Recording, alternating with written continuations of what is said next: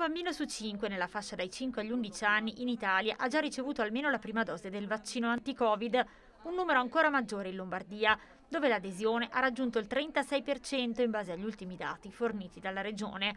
Per quanto riguarda gli adolescenti, in regione più di 9 su 10 hanno aderito alla campagna vaccinale. Le adesioni in, nelle fasce 5-11 anni stanno andando molto bene, sono al 36% e le adesioni nella fascia 12-19 sono al 91% grazie al, al grande senso civico dei genitori e dei ragazzi. Per i bambini più piccoli al numero dei vaccinati si aggiunge anche una quota pari ormai quasi al 6% di bimbi che hanno contratto il virus e che sono guariti negli ultimi sei mesi per semplificare il percorso di diagnosi e cura dei più piccoli, soprattutto nell'ottica del monitoraggio delle scuole, la Regione ha stipulato un accordo con i pediatri. Regione Lombardia ha firmato un accordo con ATS, con le scuole medie ed elementari e con i pediatri di libera scelta.